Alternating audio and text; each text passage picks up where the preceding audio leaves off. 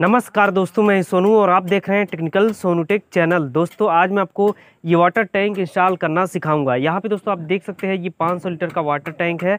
तो अभी दोस्तों, इस टैंक में होल को कैसे बनाया जाता है? होल करने का प्रॉपर तरीका क्या है?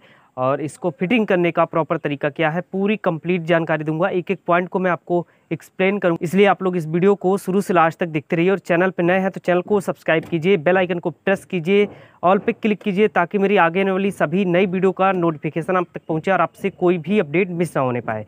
तो दोस्तों, अब चलिए यहाँ पर मैं आपको ये जो 500 लीटर का दोस्तों वाटर टैंक है, इसको इंस्टॉल करना सिखाता हूँ। इंस्टॉल करने के लिए दोस्तों सबसे पहले यहाँ पे टैंक में होल बनाएँगे। टैंक में दोस्तों होल बनाने का जो प्रॉपर तरीका है, वो है ये कि जीआई पाइप लीजिए, उसके बाद उसको हीट करके, उसके बाद यहाँ पे होल आप बना सकते हैं। दूसरा तरीका दोस्तों ये है कि इसमें आप एंगल ग्राइंडर से, ठीक है, यहाँ पे होल बना सकते हैं। लेकिन दोस्तों जिस एरिया में कहीं कहीं पे लाइट नहीं होता है तो उस टाइम दोस्तों वो फेल हो जाता है। और सबसे जो आसान तरीका है दोस्तों, वो जीआई पाइप वाला ही है। आपको जिस साइज़ का होल यहाँ पे बनाना हो, उस साइज़ का आप जीआई पाइप लेंगे और उसके बाद उससे होल करेंगे। मेरे कंडीशन में दोस्तों, अभी देखिए, यहाँ पे मुझे एक इंच का दो होल बनाना है और सवा इंच का या सवा इंच आउटलेट है। इसके लिए सवा इंच का एक होल बनाना है, ठीक है? और एक इंच का दो रहेगा, एक मोटर का इनलेट हो गया और एक एक इंच वाला ओवरफ्लो का है। तो टोटल अभी तीन होल बनाऊँगा मैं, एक सवा का, दो एक इंच का। होल बनाने के लिए जीआई पाइप से होल करेंगे यहाँ पे। अब देखिए, यहाँ पे दोस्तों सवा इंच का ये जीआई पाइप है, इसको गर्म किया गया है। और देखिए, इसको ना यहाँ से दोस्तों ये दो इंच ऊपर ही होल करेंगे। ठीक है, दो इंच नीचे जगह छोड़ देना है, ताकि जो है यहाँ पे जो भी कचरा स्टोर हो ना, रेत वगैरह, वो सब नीचे बैठ जाए। दो इंच ऊपर करेंगे, ये देखिए। अभी यहाँ पे सवा इंच वाला जो होल है ना, ये हो गया है, इसको ज़्यादा फैलाना नहीं है। अब यहाँ पे जो बाबरी बन रहा है, इसको साफ़ करेंगे, उसके बाद टैंक कनेक्टर को फिट करेंगे। सवा इंच वाला होल यहाँ पे हो गया है, उसके बाद अब एक इंच वाला होल यहाँ पे बनाएँगे। एक ओवरफ्लो का होगा और एक टैंक इनलेट वाला होगा। अब देखिए, यहाँ पे एक इंच वाला ये पाइप है, ये गर्म हो गया है। अब यहाँ से होल करेंगे, थोड़ा सा ऊपर, बस ठीक है।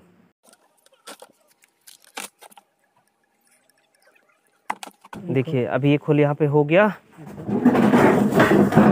अब एक होल यहाँ पे बनाएँगे।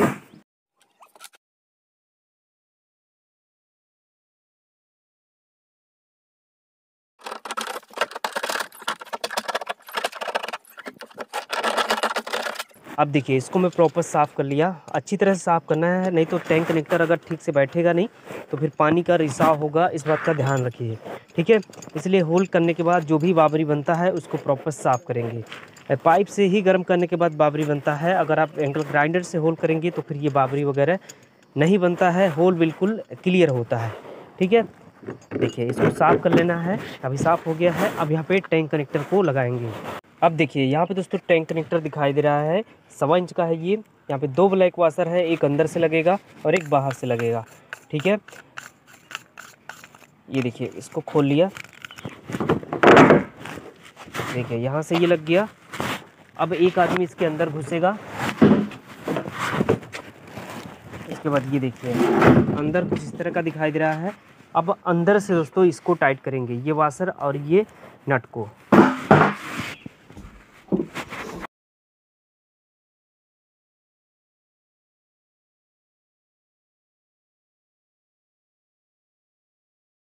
अब दोस्तों अंदर से नट को लगा दिया गया है, उसके बाद यहाँ से इसको टाइट कर लेंगे, ठीक है?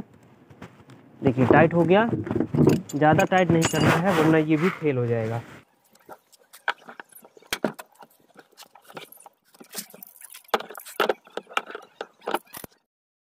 अब दोस्तों देख सकते हैं, यहाँ पे टैंक कनेक्टर पूरा यहाँ पे लग चुका है कंप्लीट हो चुका है टाइट हो चुका है। अब दोस्तों, ये जो टैंक है ना, इसको ऊपर चढ़ाएँगे, जहाँ पे इसको इंस्टॉल करना है।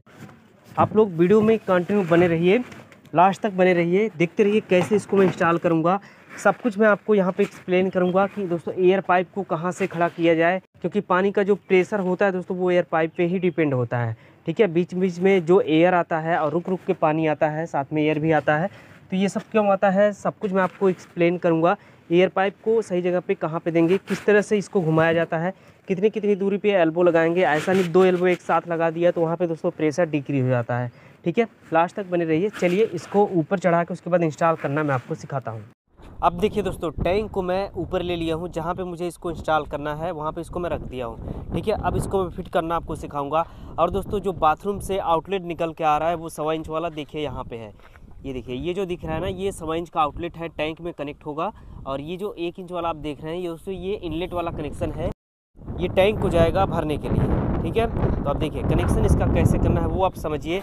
एयर पाइप कहाँ पे देना है? सब कुछ मैं अभी आपको बता रहा हूँ। सबसे पहले यहाँ पे इसमें दोस्तों यूनियन और बाल वाल लगाएँगे। देखिए, ये बाल वाल है। तो बाल वाल को दोस्तों क्या करना है? सबसे पहले लगाना है, यहाँ पे लगाना है, ठीक है? और ऐसा नहीं इसको एकदम बिल्कुल करीब में लगाऊँ, क्योंकि ये महँगा है। अगर आप ज़ीरो स्पेस पे फिटिंग करेंगे तो फिर अगर कट के रिपेयर करना हो तो ये ख़राब हो जाएगा। इसलिए यहाँ पे गैप रखेंगे। कम से कम चार से छः इंच का गैप रखेंगे। देखिए, इसको कट कर लिया और ऐसे नहीं लगाएँगे इसमें सॉल्वेंट। बहुत बारीकी से यहाँ पे सॉल्वेंट लगाया जाता है, ये बाल बाल में। महँगा भी होता है और देखिए, अगर आप गलत तरीके से इसमें सॉल्वेंट लगाएँगे ना तो फिर दोस्तों इसको बंद करने के बाद भी हल्का हल्का पानी जो है नीचे जाएगा, ठीक तरह से बंद नहीं होगा। कैसे लगाना है वो आप यहाँ पर देखिए। देखिए धीरे धीरे यहाँ पर लगाएँगे ताकि जो है ये अंदर बाल दिख रहा है ना, इसमें सॉल्वेंट नहीं लगना चाहिए। ये देखिए, इसमें सॉल्वेंट नहीं लगना चाहिए। अगर इसमें सॉल्वेंट लगेगा ना तो फिर ठीक से बंद नहीं हो पाएगा। लेकिन हल्का फुल्का लग ही जाता है, उसका भी सॉल्यूशन अभी मैं बता रहा हूँ आपको क्या करना है। देखिए, इसको इस तरह से लगा दिया, ठीक है? अब इसको यहाँ पे लगाएँगे। देखिए, अभी इसको यहाँ पे लगा लिया मैं। अब क्या करना है? यहाँ पे पाइप कनेक्ट करना है। और इधर भी बहुत ध्यान से लगाना है, ताकि जो है, जो अंदर दोस्तों बाल है ना, उसमें लगे ना सॉल्वेंट देखिए, अब यहाँ पे सॉल्वेंट हमने लगा दिया। इधर भी इधर भी। अब देखिए, अब क्या करना है आपको?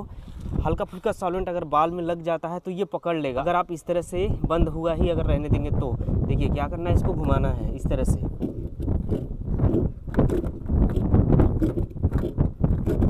इस तरह से घुमा देना है। उसके बाद रास्ता इसका क्लियर हो जाएगा। अगर सॉल्वेंट हल्का फुल्का लगा होगा तो। ठीक है? और अगर ऐसे ही बंद हुआ, अगर आप छोड़ देते हैं या फिर खुला छोड़ देते हैं तो फिर अगर खुला रहेगा सॉल्वेंट लग जाएगा तो ये ठीक से बंद नहीं होगा। और अगर बंद है सॉल्वेंट लग जाएगा तो ठीक से खुलेगा नहीं। ठीक है? और बंद भी नहीं होगा तो पानी रिसाव करता है। देखिए, ये है तरीका दोस्तों प्रॉपर सॉल्वेंट लगाने का। ये बाल वाल में अब यहाँ पे लग गया। अब फिर यहाँ पे चार, पाँच इंच गैप देके यूनियन लगाएँगे। यूनियन दोस्तों इसलिए लगाया जाता है ताकि जो है ये टैंक को खोल के अलग किया जा सके और साफ़ सफ़ाई कर सके बिना प्लम्बर को बुलाए ही। देखिए, ये सवा इंच का यूनियन है। लगाने से पहले चेक करेंगे। ब्लैक वाशर यहाँ पे नहीं होगा तो फिर लीकेज करेगा। अब देखिए, इसको मैं वापस टाइट कर दिया। देखिए यूनियन भी यहाँ पे लग गया। अब ये वाला लगाएँगे यहाँ पे।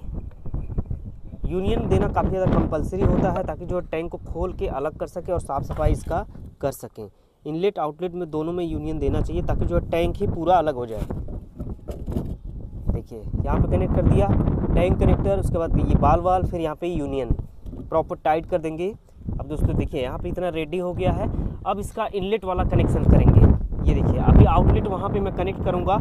एयर पाइप दोस्तों कहाँ से निकालना है वो भी बताऊँगा। ये देखिए, ये इनलेट वाला है। अब यहाँ पे, यहाँ भी दोस्तों सबसे पहले यूनियन ही लगाएँगे।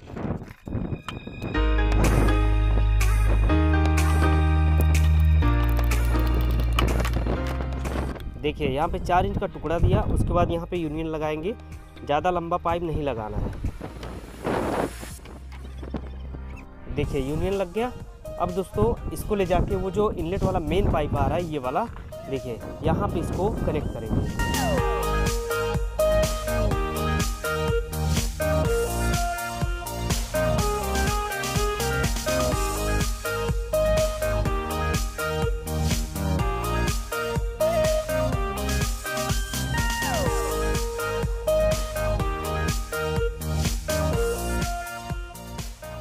देखिए, यहाँ पे इनलेट को कनेक्ट करने के लिए इसको मैं इस तरह से नीचे लिया। ठीक है, क्योंकि यहाँ पे दोस्तों ये जो इनलेट है ना, ये पाइप ये दूर है थोड़ा सा और अगर इसको मैं इस तरह से हवा में रखूँगा, देखिए, हवा में इस तरह से तो देखिए ये गलत होगा। ठीक है, इसलिए इसको मैं यहाँ पे डाउन कर लिया और आपको भी ऐसा ही करना है ये पाइप को ज़्यादा हवा में नहीं उठाना है, वरना हवा से यहाँ पे बंदर भी आते हैं तो पाइप को तोड़ देंगे। तो इस बात का ध्यान रखना चाहिए। अब देखिए, यहाँ पे एल्बो लगा लिया नीचे में। अब यहाँ पे ये पाइप कनेक्ट करूँगा मैं, ये लंबा वाला।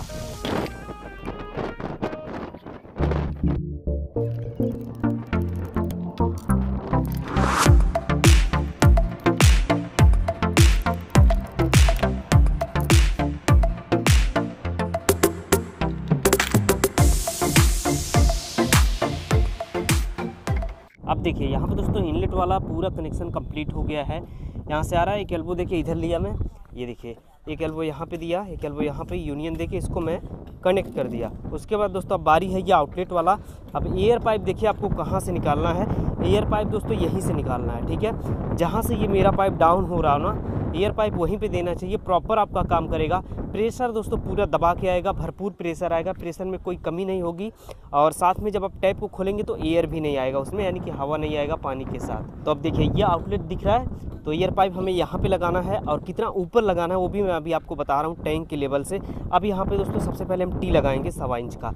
ये देखिए, ये टी है ना, क्योंकि एयर पाइप मुझे यहीं पे खड़ा करना है तो यहाँ पे टी लगेगा पहले।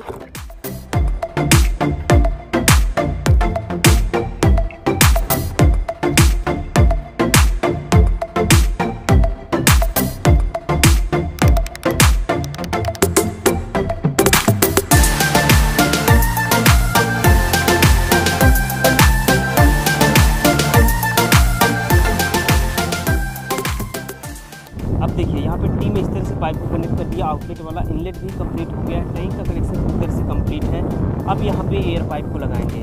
देखिए, मेरे हाथ में ये सौ इंच का पाइप है दोस्तों। एयर पाइप के लिए इसको मैं खड़ा कर रहा हूँ। और अभी बता रहा हूँ आपको कितना ऊपर इसको कट करना है। देखिए, यहाँ पे एयर पाइप को इस तरह से लगा दिया मैं। और अभी ये काफ़ी ज़्यादा ऊपर है तो ज़्यादा ऊपर रखेंगे हवा में तो भी ये टूटेगा। और अब देखिए इसको कितना ऊपर रखना है, देखिए ये टैंक का लेवल है, ठीक है? टैंक का जो लेवल है दोस्तों ये साढ़े तीन फीट के ऊपर आ रहा है, ये टैंक का लेवल। तो दोस्तों ये टैंक का जो लेवल है ना, एयर पाइप कम से कम इस टैंक के लेवल से आपको डेढ़ फीट ऊपर रखना है, और मैक्सिमम इस टैंक के लेवल से आप दो फीट ऊपर रखेंगे। देखिए टैंक का लेवल अभी मेरा यहाँ पे आ रहा है, ठीक है? तो इससे कम से कम आपको डेढ़ फीट रखना है और मैक्सिमम इसको आप यहाँ पे दो फीट पे रखेंगे। तो देखिए, अब अगर आप इसको टैंक के लेवल ही अगर कट करते हैं, यानी कि इसका जो लेवल अगर कम होगा तो पानी ओवरफ्लो होगा, या फिर इसका जो एयर पाइप का हाइट अगर कम रखेंगे तो क्या होगा, जब कोई टैप को ओपन करेगा नीचे तो दोस्तों क्या होगा कि पानी ऊपर से यहाँ भी ओवरफ्लो होता है, आपने देखा होगा। जिस जगह पे पाइप को उल्टा सीधा घुमाया गया होता है, पाइप फिटिंग को, ठीक है? और या फिर एयर पाइप नीचे होता है तो पानी दोस्तों ऊपर से ओवरफ्लो होता है। इसलिए इसका जो लेवल है ना, दो फीट ही आप रखिए। कम से कम डेढ़ फीट मैक्सिमम दो फीट ऊपर इसको आप रखेंगे। देखिए, दो फीट ऊपर इसको मैं कट कर दिया और इसको ऐसे खुला नहीं छोड़ना है, नहीं तो चिड़िया वगैरह इसके अंदर कुछ डाल देंगी ब्लॉकेज आएगा पाइप में। अब देखिए, यहाँ पे टी लगाएँगे इस तरह से। देखिए, टी को लगा दिया, अब इसके अंदर कुछ जाएगा नहीं। और देखिए, अभी यहाँ से भी कुछ जा सकता है तो यहाँ पे अगर आप चाहें तो 45 लगा के इसको डाउन कर सकते हैं। 45 या फिर एल्बो भी यहाँ पे लगा सकते हैं।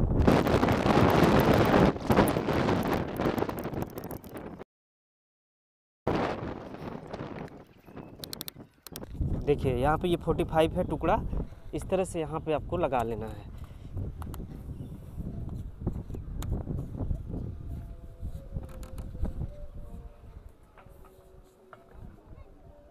देखिए, इस तरह से यहाँ पे लगा दिया और एयर दोस्तों, अभी यहाँ से इस तरह से एयर लेगा पास करेगा यहाँ से, इधर से। ठीक है? अब इसके अंदर कोई भी जानवर, चिड़िया वगैरह कुछ भी यहाँ पे डाल नहीं पाएँगी। पाइप आपका सेफ़ होगा। एयर पाइप का जो हाइट है दोस्तों कम से कम डेढ़ फीट मैक्सिमम दो फीट रखेंगे। अभी मैं इसको दो फीट रखा हूँ टैंक के लेवल से। प्रॉपर ये बिल्कुल सही तरह से लगाया गया है। तो अभी दोस्तों यहाँ पे टैंक का कनेक्शन पूरी तरह से हो गया है। इस तरह से आप भी टैंक कनेक्शन करेंगे प्रॉपर तरीके से। प्रेशर में कोई भी कमी नहीं आएगा। तो दोस्तों आज के इस वीडियो में बस इतना ही। इस वीडियो में मुझे आपको ये टैंक इंस्टॉलेशन के बारे में और एयर पाइप के बारे में आपको अवेयर करना था। तो आज का वीडियो दोस्तों पूरा हुआ। हमें उम्मीद है ये वीडियो आपको पसंद आया होगा और उम्मीद करता हूँ जो कुछ भी एक्सप्लेन किया हूँ, सब कुछ समझ में आया होगा। समझने में कहीं भी कोई भी कन्फ्यूज़न है तो आप नीचे कमेंट सेक्शन में अपना क्वेश्चन टाइप करिए, उसका रिप्लाई करने की कोशिश करूँगा मैं। और साथ में ही दोस्तों आप लोग चैनल पर नए हैं तो चैनल को भी सब्सक्राइब कीजिए बेल आइकन को ज़रूर प्रेस कीजिए, साथ में ऑल पे क्लिक कीजिए ताकि मेरी आगे आने वाली सभी हर नई वीडियो का नोटिफिकेशन आप तक पहुँचे और आपसे कोई भी अपडेट मिस ना होने पाए।